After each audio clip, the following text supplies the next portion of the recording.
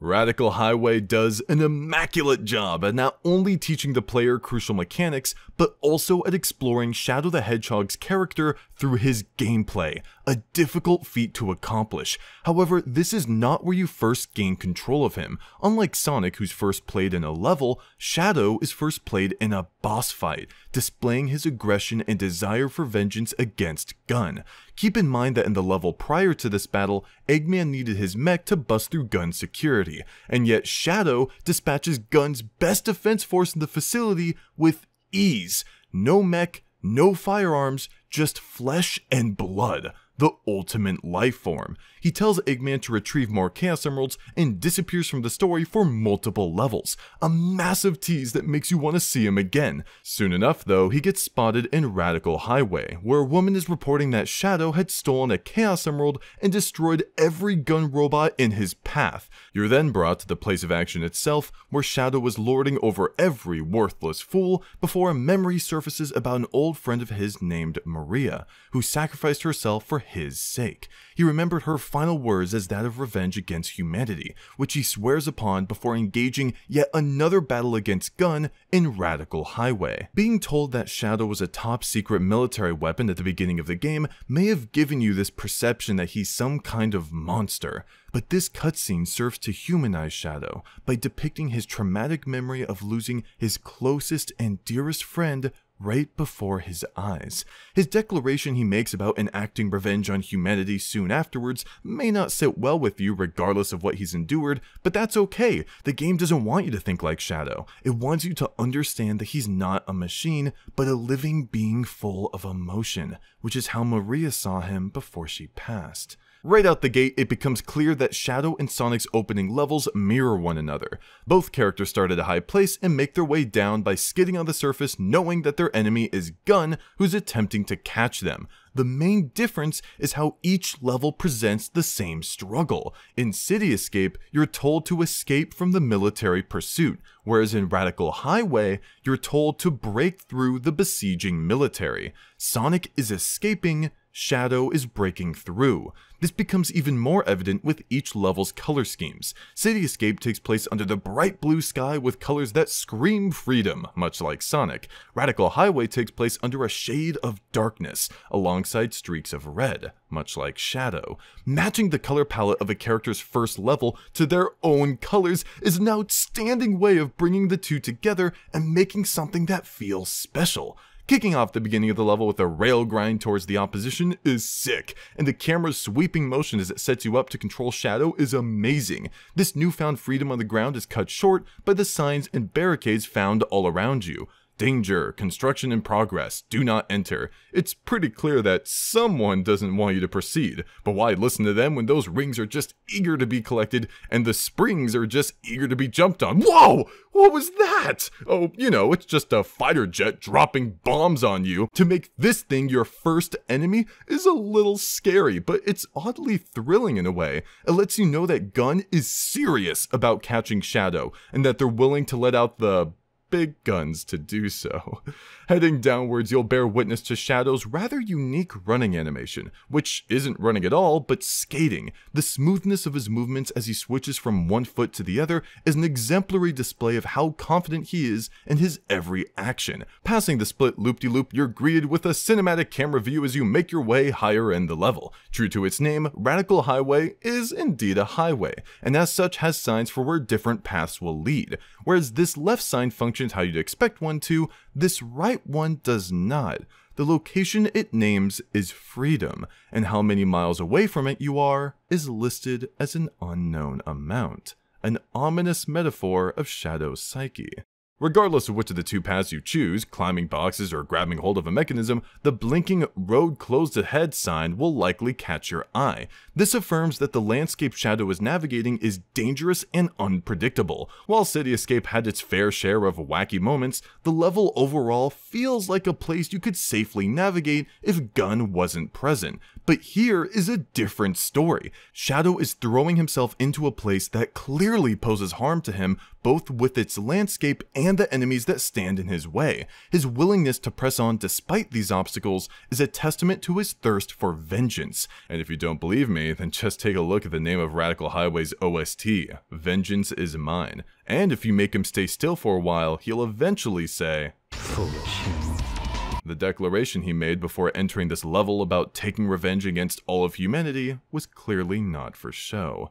A fighter jet greets you head on with a bomb as you make your next landing. The camera points you towards the right, but if you defy your camera overlord and head to the left, you'll find an obstacle that, when overcome, or undercome, will lead you to a trail of rings that ends with a platform far away. This section requires the light speed dash, an ability that lets you follow a trail of rings even if they're airborne. Sadly, you don't yet have it, but that gives this level some replay value to figure out what the heck could be on the other side. With regret, you must move on.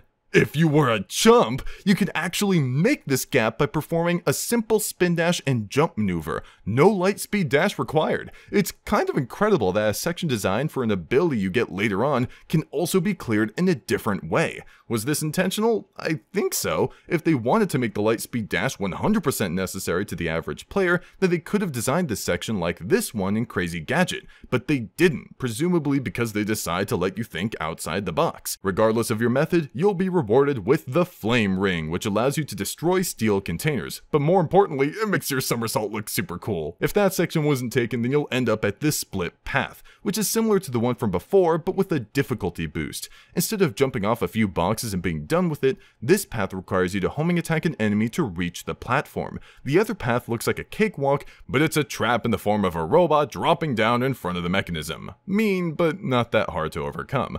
Landing on the platform will cause two fire jets to suddenly appear in a manic fashion. Do they attack you? No, but their movements are intimidating. It's like they were only put there to scare you. Fun fact, they can be destroyed, but you've got to be quick. The rocket blasts you to the next section where you'll fall a short distance to the floor. What's cool here is that they made it so even if you hold up, as soon as you start falling, you won't go past the checkpoint. In fact, you'll land right on it. You may not see the significance of this, but knowing that the devs are looking out for me always warms my heart in some kind of way. Here you'll learn how to perform a somersault if you haven't already. If you signed a waiver that you'll never somersault, then you could just jump around the obstacle instead. This loop-de-loops pathway ends with mere beams instead of a fully constructed road, but since this is an automated section and there's floor below you, there's no danger to be afraid of. It's merely warning you to watch your footing as you progress further on. Entering this tower will throw you into a mad spiral of springs, bouncing you until you fling out into the main path, but if you're somewhat of a risk taker, then you could try and see what happens if you jump around the tower. It seems like a bad decision at first until the camera actually aims down so you can land properly. Not only that, but depending on which side you jumped around, you'll get either an invincibility power up or a 1 up for having the guts to do what you just did. Incredibly, you can also obtain the 20 ring box from the main path if you choose to risk it. Hitting the spring will fling you up and ready to proceed, but if you hold A while hitting the spring, then you can gain extra height, enough to make a shortcut by landing on the platform further in the level, a neat trick for those that discover it. The main path has a robot behind cover, which is cute considering he doesn't stand a chance. One of the containers he's around is wooden, which can be easily destroyed, but there are a few unbreakable containers present too, without any noticeable purpose. At least for now, we'll get to them later. Continuing on, the fighter jets still aren't letting up with their bombings on the main road, but that won't stop you as you travel to the wondrous row of homing attack fodder. That's right, these enemies are lined up specifically to teach you how to chain multiple homing attacks in a row. If you fail, then you won't get hurt, but simply need to pass through the section in a different way. In my Lost Valley video, I ridiculed a section of the level that was quite similar to this one. They both teach consecutive homing attacks and will drop you into a safe area should you fail. So why is it that I have a problem with Lost Valley's version of this section and not Radical Highways? It's because Lost Valley safe area is a flat space with no character, which can be easily gotten out of by simply holding up. Radical Highway safe area has a barricade, street lights, multiple containers, one of which being a collectible in the form of a Chao key, danger signs, and above all else, requires the player to actually input buttons on the controller to proceed. Lost Valley's version is frankly insulting by comparison. The path onwards will have you seeing a jet fighter bombing not you this time, but the level itself, causing a part of it to fall before your very eyes. This is an awesome way of showing how desperate Gun is to get Shadow, going as far as to destroy parts of the city's infrastructure. If you fall into the newly created hole, then you'll be high enough to reach the main path anyways. You might chalk this up to the platform being tall, but it's also due to the help of the unbreakable containers, which the platform is laying on that gives you the height to get back up. Thank you, unbreakable containers. I'd hug all of you if it weren't for the screen that keeps us apart. You're given ample time to see a ramp on the downward slope, so unless you don't know how to jump, you can perform a trick off of it and land on this horizontal bar, the red streak indicating the moment you need to let go if you want some air. Should you fail, you can easily trick off the ramp again to give it another go. This pathway is stylish beyond compare, and lets you skip the platforming and enemies that were supposed to be a hindrance to you. What's interesting about these foes is that they look like the robots you fought earlier, except they've become more mobile, necessitating you to watch your step. Either of the two springs can be taken up, but if you're curious enough to break this wooden container, then you'll end up at the horizontal bar. You just can't escape it. They want you to be stylish. Your only option to proceed is by taking the spring and the mechanism that follows it. If you didn't obtain the flame ring from earlier, which allows you to take this spring, which launches you up to the top in one fell swoop. What's cute here is that there's a row of rings to the rocket, so if you have the light speed dash at this time, then you could pull a small stunt by placing yourself before the first ring and whooshing to your next destination which will be below you. Yeah, the rocket kind of drops you off at a high altitude, allowing you to see multiple fighter jets flying around and dropping bombs. Quite an escalation from what's come before. When their attempts at your demise end in failure, you're met with Shadow's biggest flex over Sonic, a double loop-de-loop, -loop, complete with a cautious camera capturing the captivating cut of the choreography in crisp, clear quality. This spectacle continues towards an enormous bridge, yet another way Sonic and Shadow's levels mirror one another. How, you ask? Well, City Escape was modeled after San Francisco, and aside from its rolling streets which you joyfully skated down, the Golden Gate Bridge is what it's most known for. The devs went nuts with the amount of routes they give you here. It's insane! Not only does each path stretch out to the end on its own, but you can switch between some of the paths at different intervals if you wish. The bottom path begins with a pit, and if your survival instincts haven't cued you into the dangers of one, the level surely has. But the camera does something peculiar here. It aims down into the pit. There are also a few floating enemies just out of reach. If all that was enough to convince you to take a leap of faith or you just fumbled into the hole, then you'll find yourself helplessly floating towards the end as you curse your inability to restrain yourself from reading warning signs. Well, at least you can vent your frustration by throwing Omochao into the pit. You might feel bad, but he's a robot. I'm sure he can take it. Besides, I can't imagine a more cathartic way of relieving stress. You know what I mean?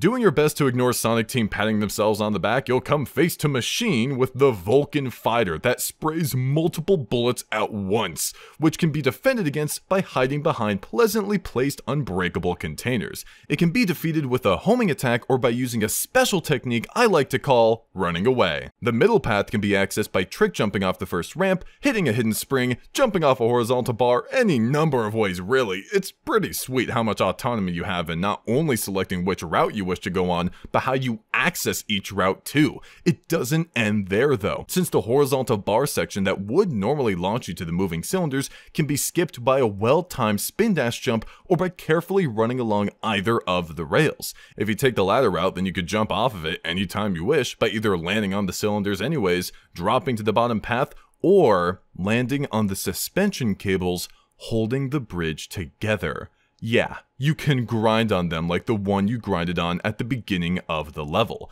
You could say screw the main pass and choose to grind to the end if you wanted. A bonus on top of that is how the developers threw a well-hidden ring box at the beginning of one of the cables should you be devious enough to head backwards on one. It doesn't stop there though. You're given a sick cinematic camera angle as you grind your way across the bridge, eventually meeting an ancient ruin, which can't be used until the Mystic Melody power-up is obtained obtained. Only then will platforms appear, allowing you to jump across to where the 1-up is, or the Chao is if you're playing this level's third mission. But get this, if you perform a well-timed spin dash jump, then you don't even need to use the Mystic Melody power-up to get across. This is similar to that earlier section of the level where you can jump the gap without using the light speed dash. I just find it so cool that with enough clever thinking, you can still progress the way you originally wanted. The next apex of the bridge has a golden beetle, which are normally placed in harder to reach parts of a level as a kind of bonus, so that lets you know how the devs feel about you reaching so high up.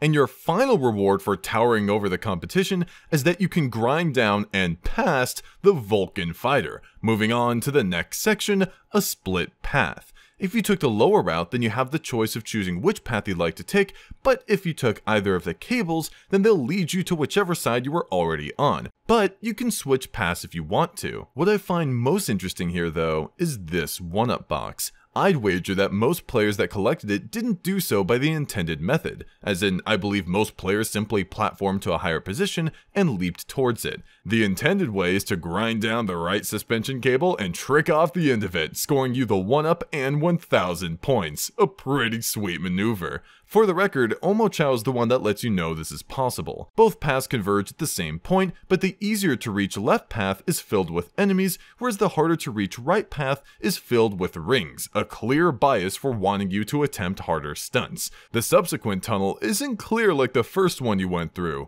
It's filled with barricades and a trick ramp yeah, you can do a neat little trick which will send you right towards an obstacle you have to somersault under if you wish to maintain your speed. The last challenge this level poses is a set of horizontal bars, which if cleared will send you straight to the final section. If they aren't cleared, then prepare to platform atop moving cylinders, followed by a dude with a spring. On your left, you'll see a reference to a series that's no one's favorite, and to your right, you'll see the same series again, but from a different angle. Frankly, this entire route is smooth sailing to the end. The last bit of spectacle you get is this tubular looking spiral that's a contender for one of the best loop-de-loops in the franchise. To top it all off, the camera angle whizzes around to follow you as a fighter jet drops bombs in front of your path. That's so cool! At the end of it, you'll quickly see a sign that says Radical Highway, followed by by your final foe, the last thing standing between you and the goal ring. You know, I almost feel bad for him. So after killing him, you can psych, he's still alive! That's right, we're allowing him to live as we enter the goal ring. This is normally where I'd start wrapping things up, but the next cutscene follows up this level in a great way. That cutscene being the first time Sonic and Shadow meet. We can see the latter holding a Chaos Emerald and depicting its magnificent power in the form of Chaos Control, a teleportation slash time stopping ability that we couldn't use in Radical Highway. I like to think that the reason we couldn't use it is because Shadow didn't find it necessary to waste such great powers on, as he puts it, foolish humans.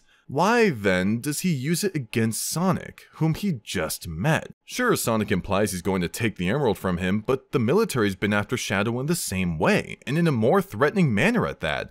I think what prompted Shadow to use Chaos Control here was Sonic's last line, calling him a fake hedgehog. Anyone who knows this character is aware that he's always had a bit of an identity crisis, not sure where his feelings lie, and that's no different in this game. After all, he bases his revenge on humanity off of a traumatic situation with a deceased friend that he misremembered, a decision that he reversed his thinking on when his thoughts became clearer. Not only that, but when he meets someone that looks just like him, his identity gets challenged directly within a few lines. All of that is what I think made Shadow want to use Chaos Control against Sonic. Not to beat him up, but to prove that he is himself, not just some knockoff. The icing on the cake here is that Shadow warps out, leaving Sonic to deal with the military forces that were chasing him during Radical Highway, which adds on to the military forces Sonic's already been dealing with from City Escape. That perfectly explains how Sonic was successfully captured. He had to deal with way more than the hand he was originally dealt. That aside, Radical Highway is a phenomenal level that does an incredible job at blending cutscenes and Shadow's character with the level itself. It's one thing to craft a technically impressive platforming experience, but it's another to instill the heart of the world inside that experience at the same time. Thanks for watching, and I hope you have a great day. See you then. Here we go.